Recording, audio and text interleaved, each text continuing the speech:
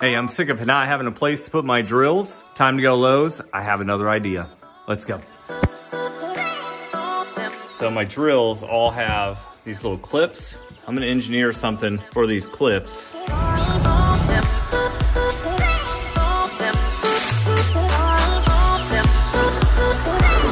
Picked up some 3 8 nylon spacers, nylon nuts, locking washers, bolts, and then one flat piece of steel, three feet with the holes already in it. So I think I'm all in about 10 bucks.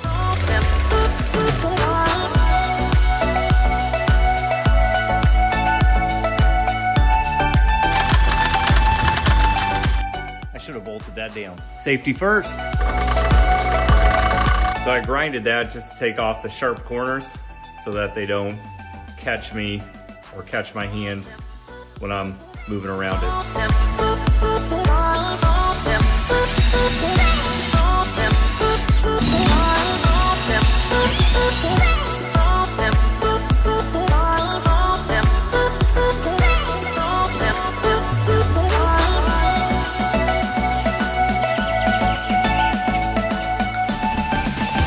All right, let's check out the final product.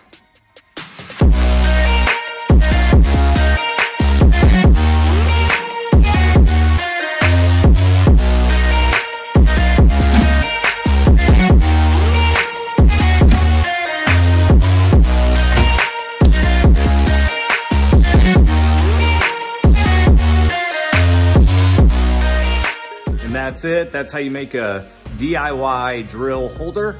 You can modify it by changing the bolts into screws and putting it into a drywall. If you like what I'm up to, make sure to subscribe, hit the like button. Otherwise, Suburbia Dad is out.